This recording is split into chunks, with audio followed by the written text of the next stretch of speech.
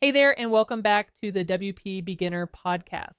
Today, we're tackling a topic that's on every website owner's mind how to improve your SEO without spending endless hours doing it manually.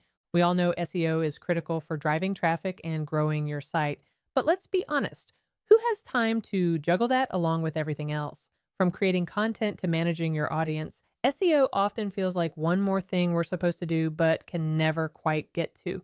Well, what if I told you that you don't have to do it all yourself? That's where SEO automation comes in.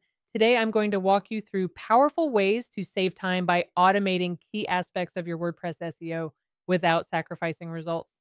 But first, what is SEO automation? Before we dive in, let's set the stage. SEO automation doesn't mean you can go on autopilot and forget about strategy or oversight.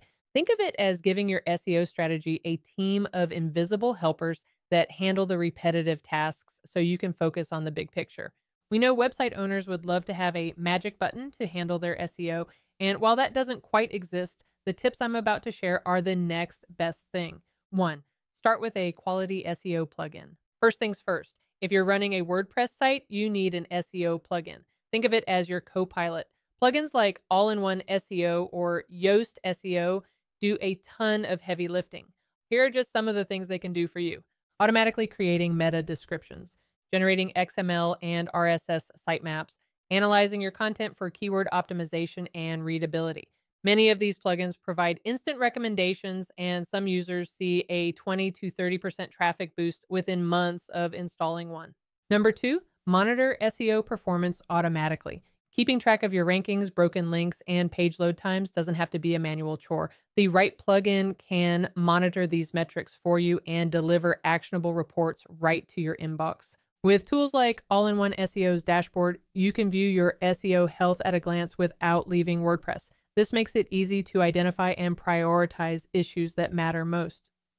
Three, optimize content on the fly. Some SEO plugins like All in One SEO offer built in content optimization tools. For example, you can get a TruSEO score for every post, along with practical tips to boost it.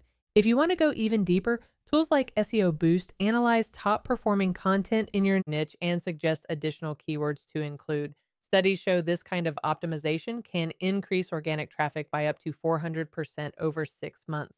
Number four, automate schema markup. Ever noticed how certain search results stand out with star ratings, FAQs, or product details? That's schema markup at work, and it can boost click through rates by 30%. Many SEO plugins now include automatic schema generators. These tools apply structured data to your pages and posts, helping search engines better understand your content and display it more effectively. Number five, let plugins handle sitemaps. Sitemaps are essential for helping search engines crawl and index your site. Luckily, you don't have to create them manually. Plugins like All in One SEO generate and update both XML and RSS sitemaps automatically. For new sites, I recommend submitting your sitemap to Google manually at first to speed up indexing. After that, let the plugin handle updates for you. Number six, fix broken links automatically.